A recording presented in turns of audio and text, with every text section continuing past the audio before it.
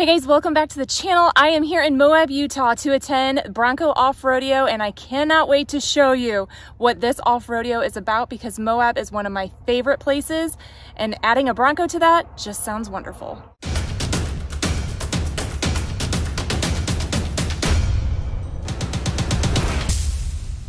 If you follow the channel, you know that I've already attended the Nevada Off-Roadeo. So when I had somebody invite me on as a guest to attend the Moab Off-Roadeo, I jumped on the opportunity because we all know Moab is my most favorite place on earth. Now the base camp is completely different than the one in Nevada. There's actually a building with a shop. It's nicely decorated. You know, there's air conditioning, heat, where the base camp in Nevada, there wasn't really an indoor building at all. Not only is the base camp set up differently, but the overall experience was a completely different experience experience than the one that I had in Nevada.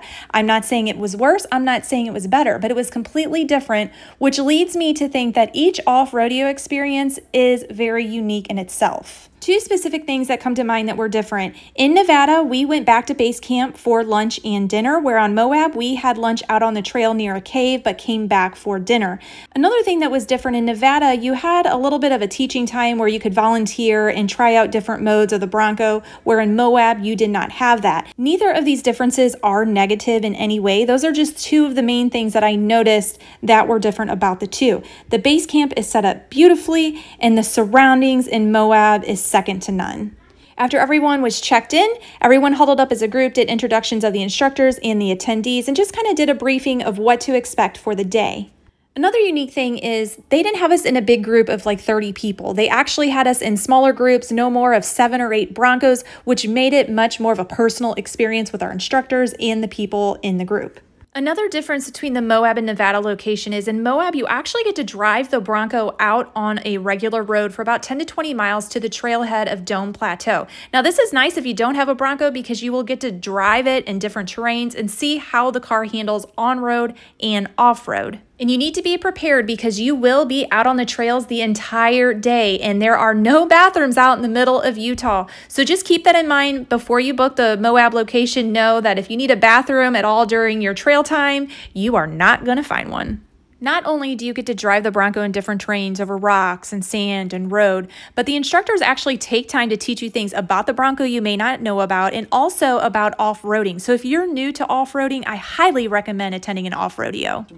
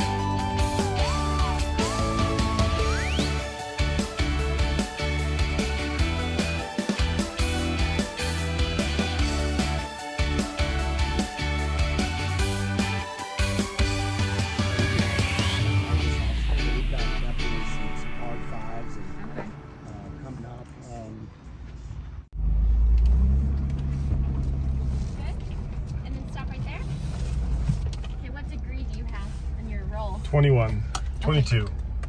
All right. So we typically stop people right here just to show them that your Bronco can hold almost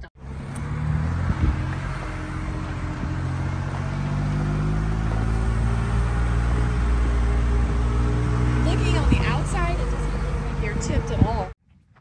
Right, yeah, back over there somewhere. So we're thinking about the spatial awareness of the vehicle as we come through. So let's walk up a little further and see what we can see. Let me ask you a question. Can I... Yeah, I don't think it's That's correct. Actually, the rear is locked up. All right, let's take that rear locker off, just so we want to let everybody see what it does. Everybody else will have your rear, your rear locker on when you come through, but I want y'all to get a, a glimpse of this. All right, so nice and steady, just come forward. This is four low only. Keep coming. All right, stop there. Now, what, what I really like about what uh, Brad did right there was he let those tires spin briefly, very briefly, to see if he was going to be able to, if they would hook up and take him forward. He didn't give it more gas. He didn't back off the gas. Oh, it's a magic button. I don't have lockers on my Bronco.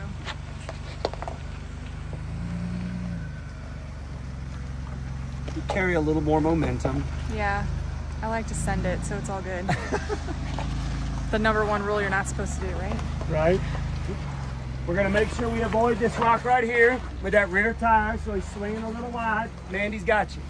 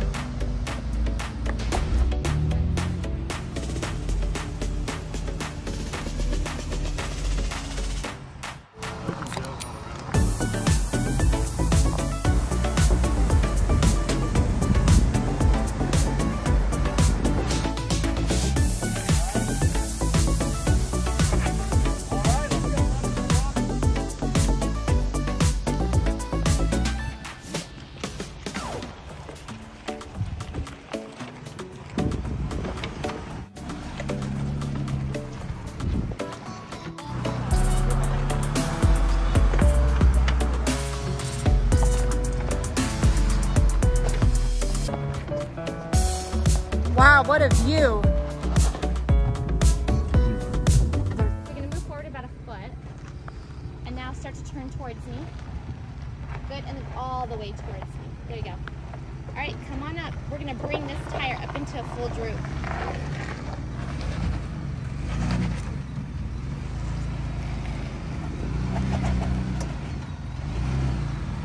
Right there. Hold it. Go back just a touch. Go back a little bit. Just like a, just a little bit. You had an uh,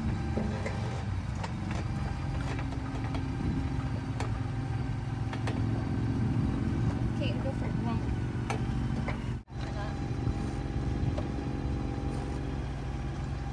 Is the back tire lifting off?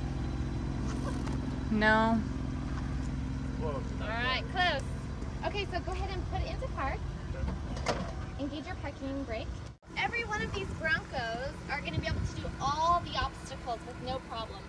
If you live in Florida, I know I heard a lot of people from Florida, you may not need this sway bar disconnect. You may not need this in the Badlands or the first edition. But he, we have Brad in a Badlands, so we have the sway bar disconnect. And this is very unique in the fact that you can do this under load. So he does not need to engage the sway bar disconnect down here to prepare for this obstacle. So this is under load. We have full droop, right? This is the full droop. And then the tire here is compressed. It's fully stuffed into that wheel well. So we're trying to get the traction right. We're doing traction and clearance. We're trying to get traction. We're obviously not getting it here. So Brad, up and hit your uh, button, your disconnect. So a significant drop, right? A lot closer. It can drop up to eight inches, and that will bring you down. So name's Clayton Skelsey, uh, from Largo, Florida. Came all the way here to Moab. I mean, the the best part about it is really learning about the vehicle. You know, you can really understand like how to use the vehicle, uh, the different components of it. You know, whether it's a rear or front locking differential, stuff like that. I mean, the terrain in Moab too is it's very different uh, than a lot of areas. Um, being so close, like you can see all the snow on the mountains and everything, and pretty much be out in the desert, you know, in 80 degree weather. So um, definitely recommend Moab. I haven't checked out the other places, but as far as location go, I think this is really the best it gets. So we've been out here for three days now, and next couple days we'll go up to Telluride. But yeah, we just love the area, and it's definitely worth it. I'm Allison. I'm from Tampa. Um, today was absolutely incredible. I normally avoid the craziness and the obstacles, and I feel like that's what I always do. And today I got to kind of suck it up and stop being a, a baby. And I got to do some wild stuff, and I feel way more like confident. Yeah, I learned all kinds of stuff. I spent a lot of time off-roading in different areas and different terrain, but this is the first time we did any sort of rock crawling. Uh, so I learned how to, you know, pick my lines better, how to kind of plan ahead and kind of look ahead in the trail and find out where I'm going and kind of make sure the vehicle gets into the right tracks and that kind of stuff.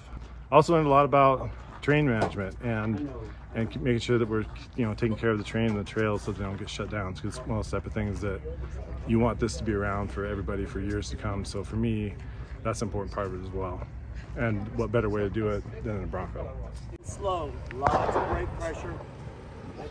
Passenger side, keep coming.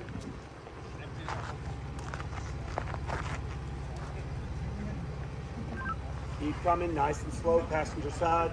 Beautiful. Passenger, uh-uh, there you go, there you go. Nice and slow. Here's your crest. Slow. Real gentle. You let it ease down. We're gonna let it sit down nice and pretty. You're doing perfect. Come on forward.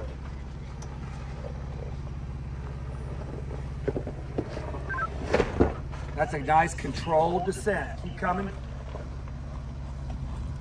And now we've got that departure angle. We want to set that back da- tire down easy like Sunday morning. That's beautiful. That's right. I know, I'm like, that's your slogan, huh?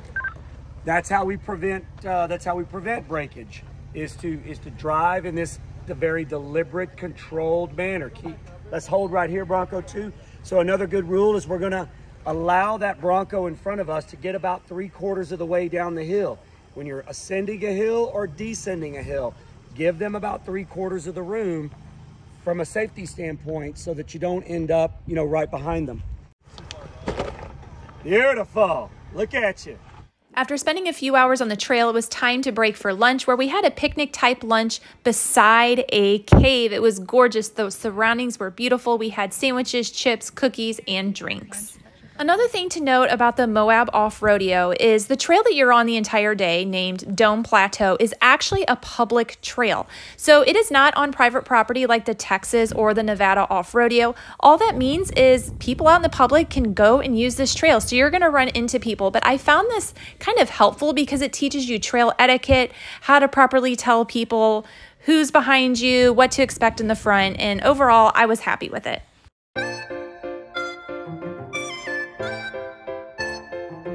He's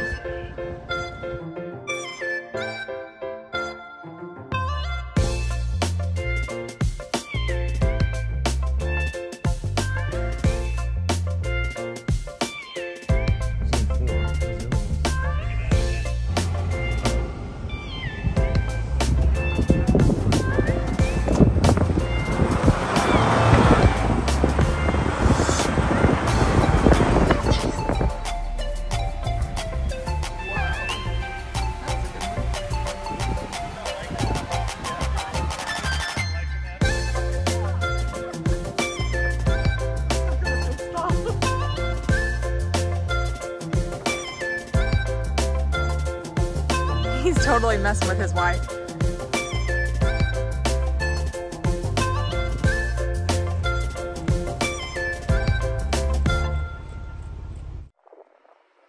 Go faster! No, no, you gotta.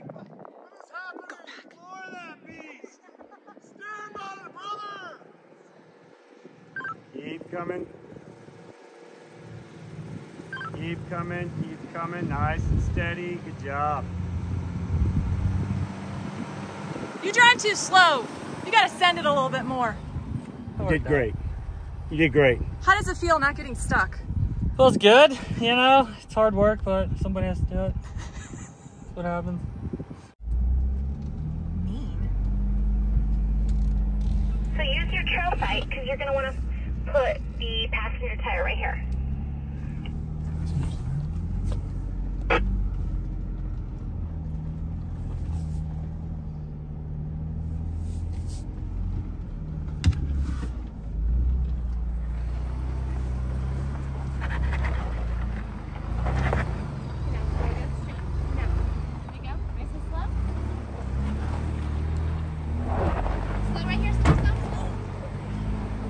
Everybody, my name is Brian Harris. I am the lead trail guide at the uh, Bronco Off-Roadeo here in Moab. Now, one of the things that I love about the Bronco Off-Roadeo is so many people get a vehicle uh, and you buy this really amazing machine in, in a Ford Bronco, and then you don't fully understand all of its capability and, and you need to, to have a frame of reference about what all it can do. Bronco Off-Roadeo is an amazing place to come to so that you can learn how to use your vehicle in a safe, smart way that protects the environment, protects the vehicle, and is a world of fun. Some of the most important driving skills that you can learn when you're operating an incredible machine like this are, are pedal control, right?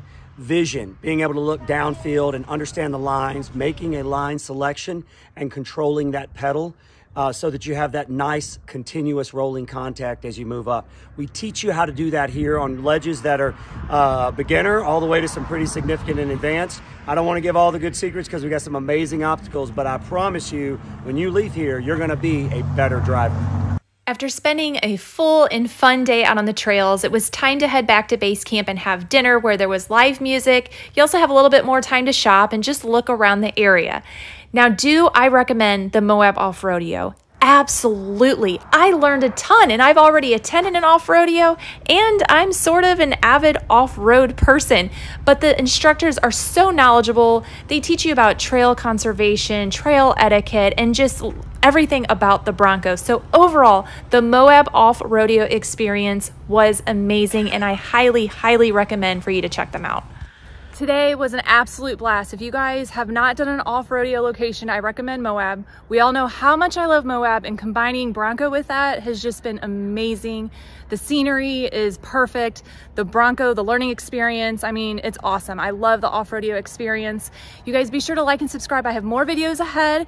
Be sure to check out the Old Florida event that's happening in May. We have a bunch of people signing up and you should check it out. So until next time, I'll see you later. I'm gonna put that at the very end of the video. You wait for it. That was perfect. That was amazing. Oh, please. Out of this whole thing, she's getting like 10 seconds of Right. content. Come on. Oh, I've been tuning you out all day.